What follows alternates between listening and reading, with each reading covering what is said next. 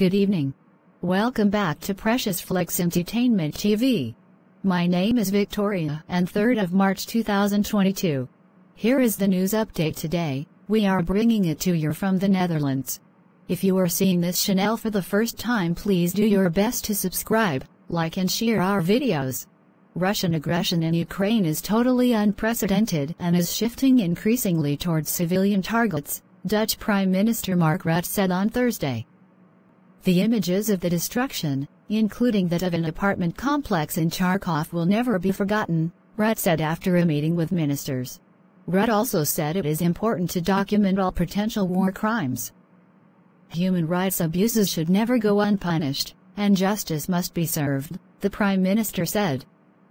Dutch Foreign Minister Wopke Hoekstra has already taken the initiative with the UN to set up a committee to monitor human rights abuses, Rutte said. The Prime Minister said that at the moment it is impossible to say how many Ukrainians will come to the Netherlands, but that they would be warmly welcomed. Ukrainians do not have to report to the refugee center in Ter Apel, but can instead stay with friends and family, although some have already traveled to Groningen. Ukrainian nationals have 90 days visa-free travel within the EU under a Ukraine-EU friendship treaty, and that will be extended for a longer period, Dutch officials said earlier. Some 20,000 Ukrainian nationals currently live in the Netherlands. Local councils don't have enough money to help homeowners go gas-free. Under the terms of the National Climate Agreement, 1.5 million homes should be removed from the gas network by 2030, but 55% of local councils say they don't have enough money to ensure this happens, and 48% say current strategy on insulation and alternative energy sources is too expensive for their residents. NU.nl sent its survey to all 345 Dutch local authority areas and 239, or almost 70%, responded. The research took place before the Russian invasion of Ukraine, which is having a major impact on both the price and supply of gas. Just 8% of councils said they had removed some housing from the gas grid and 26% are currently working toward it. In particular, there is a lot of uncertainty about city heating schemes which are considered to be a suitable alternative to individual gas-fired systems. Just one in five local authorities said they plan to expand existing city heating systems with the rest undecided or against. Electric heat pumps are seen as a better option by local authorities even though they are expensive and require high standards of insulation to be effective. The coalition agreement includes budget to help local authorities pay for the energy transition, starting with 300 million euros next year and rising to 800 million euros in 2025.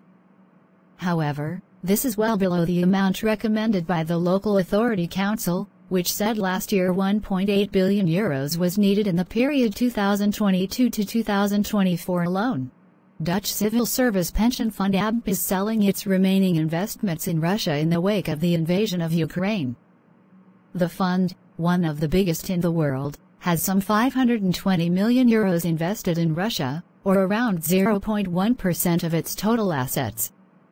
ABP said in a statement that it is shocked by the Russian invasion and had therefore decided to ditch all its interests there. ABP has also sold some of its investments in Russian oil and gas companies in connection with our October decision to sell our investments in fossil fuel producers, the fund said. The sale of the remaining investments may take some time as market conditions are complex at the moment.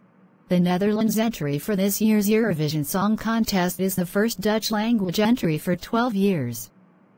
De Diepte, The Deep is a tribute to the sadness and memories that you carry with you, co-writer and performer S10 told the Eurovision website.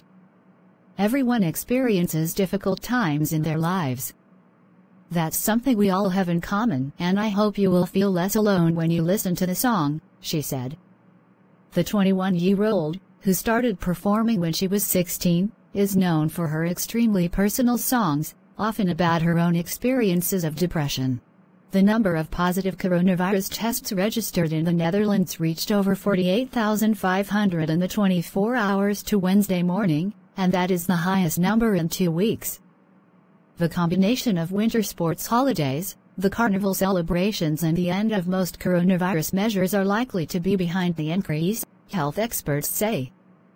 There has also been a sharp rise in the number of tests being taken minus 90,000 compared with 67,000 on Tuesday, the figures show. This is the news update for today. Thank you.